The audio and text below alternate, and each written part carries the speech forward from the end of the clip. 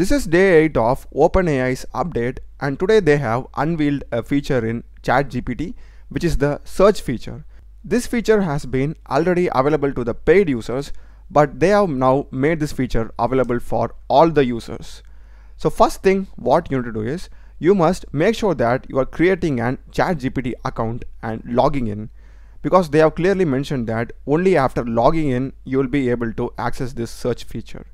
So after you have logged in, just come to the home page and you'll be having this globe like icon called as search the web. Click this and now ChatGPT can directly search the web and give you results. For example, let me go with a prompt. I'm just asking it to list down the top 10 restaurants in New York.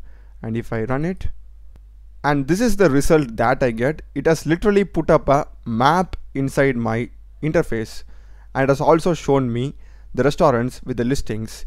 And look at the interface. This looks amazing. I can know the restaurant name their opening time the reviews and the main description of the restaurant along with the beautiful picture. And you're also getting the location. So if you zoom in you will be getting the location. And if you want in a list format it gives you the list like this. So this is totally a game changing feature to be honest.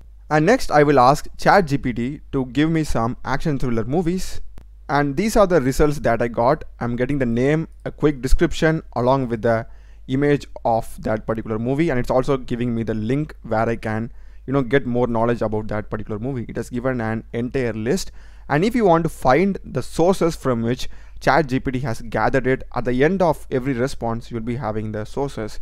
You can just click this and it opens as a third tab and you can see the list of things which ChatGPT has used as a reference that's so amazing and this applies for everything. For example, even here, it gives me the source where it has referred to get this information. And we're also having the directions, websites and even call feature. So that's totally amazing. And this search feature can also be done with the voice. So if you go to the voice mode and if you speak to chat GPT and ask some questions, it can search the web and directly give you the answers and this feature will also work in your ChatGPT mobile app. So just try it out guys. And that's a video. Do check the playlist of my channel. I've done a lot of videos in AI tools ChatGPT Gemini AI as well as programming videos. Subscribe me. Thanks for watching